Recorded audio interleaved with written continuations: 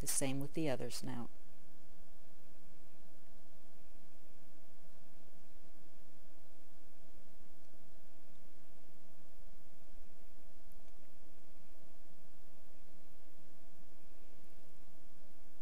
Now he's beginning to look like a dragon.